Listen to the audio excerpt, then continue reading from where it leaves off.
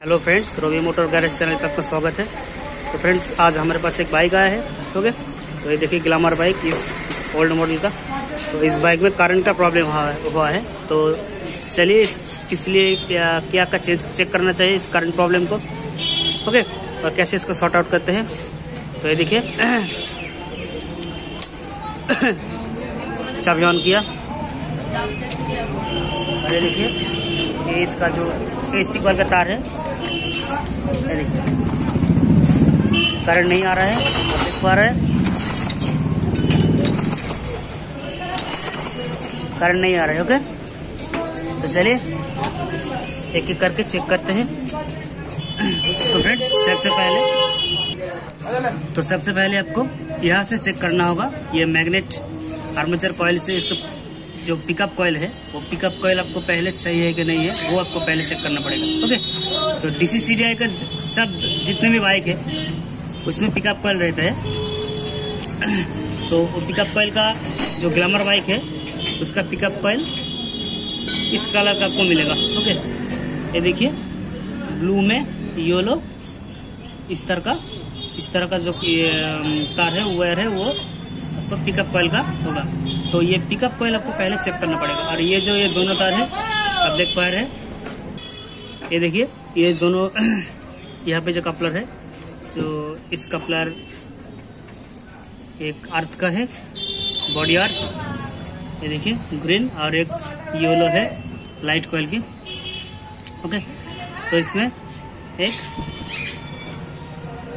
Light coil और charging coil एक साथ यहाँ पे आते हैं। ओके? तो ये ये चेक करना अभी ज़रूर नहीं है। इसको इसको हम पहले यहीं पे छोड़ देते हैं। तो फ्रेंड्स बाइक स्टार्ट नहीं ले रहा है। इसका करंट नहीं आ रहा है। तो शुरू से यही चेक करना होगा। ओके? इस तरफ़ को आप पहले चेक करेंगे।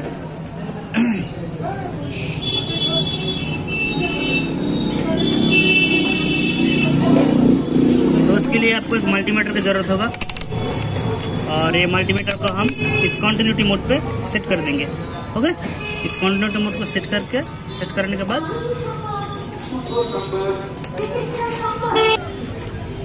तो फ्रेंड्स देखिए मैं ए, एक रेड इसको दे दिया। इस रेड वाला इसको इस तार में लगा दिया और एक नेगेटिव में लगा दूँगा। तो यहाँ पे कुछ आपको सिंबल दिखाई देगा। तो आप देख पा रहे हैं इसमें दो सौ बहान्नव टू फिफ्टी वन तो ये रीडिंग आपको शो कर रहा है, इसका मतलब पिकअप कॉइल सही है। ओके तो ये पिकअप कॉइल चेंज करने की कोई ज़रूरत नहीं है, मैं लगा देता हूँ। और उसके बाद नेक्स्ट में, उसके बाद हम वो पिकअप कॉइल के लाइन यहाँ पे आते हैं सी में जाते हैं। ओके सी में देखिए टोटल छः तर रहता है। ये देखिए, यहाँ पे चार और यहाँ पे दो। ये दो जो तार है टीपीएस का है। इसमें कोई लेना देना नहीं है। ये नहीं रहेगी, ये नहीं लगाने के तो भी स्टार्ट लेके करंट आएगी। तो ये टीपीएस का सेंसर टीपीएस सेंसर हम जब बाइक को रेस में भगाते हैं, तब ये काम करता है। ओके ये कर्व ये सीआई को सेंस देता है कितना इग्निशन देना होगा। तो ये बा ये छोड़िए। ये देखिए यहाँ पे जो चार वायर है वायर है। ये चार वायर आपको बता दो कौन सा कौन तार है। ये देखिए 12 वोल्ट का लाइन इसमें आता है। एक ये हो, ये हो गया ये दो हो गया ग्रीन बॉडी आर्थ के। और ये हो गया, अब देख पहले जो पिकअप कॉयल रहती पिकअप कॉयल का लाइन इसमें आता है, एक, तीन, और ये देखिए, ये ब्लैक में जो येलो है, वो हो गया आपका आउटपुट हो जाता है आपका एस टी कॉयल में ओके ये देखिए, ये आप देख पा रहे हैं, यहाँ पे जो ब्लैक में जो येलो है, ये इनपुट ये जाता है एस टी कॉयल में, ये देखिए। ये एस टी में जाता है ये सर ओके तो आपको चेक करना होगा इस सभी में। एक में 12 वोल्ट का लाइन आ रहा है कि नहीं आ रहा है? वो चेक कर लीजिए पहले। पहले, और उसके बाद ये देखिए ग्रीन आर्थ ये इसमें लाइन आ रहा है कि नहीं? आर्थ बॉडी आर्थ ये देख लीजिए। और ये देखिए, ये पिकअप कॉल का लाइन ये चेक कर लीजिए। ये तीन लाइन आपको चेक करना पड़ेगा ओके ये तीन लाइन चेक करेंगे।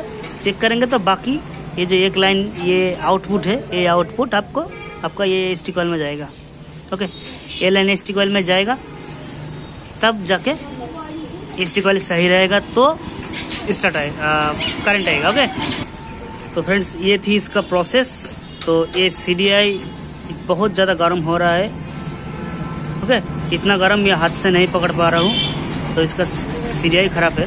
तो कभी कभी ऐसे भी आपको पता लग जाता है, फिर भी आपको इस लाइन को अच्छी तरह से चेक करना पड़ेगा ओके तो ये खूब ज़्यादा गर्म है, ये सी ख़राब है, इसमें लाइन सब आ रहा है, मैंने चेक किया है ओके आपको जो जो प्रोसेस बताया, वो आप इस तरह से चेक कीजिए मल्टीमीटर से ओके और आप नहीं जानेंगे तो किसी मिस्त्री को दिखाइए तो इसका सिरिया ख़राब है तो इस सिरिया चलिए, नया लगाते हैं, नया लगा के आपको करंट आपको दिखाता हूँ।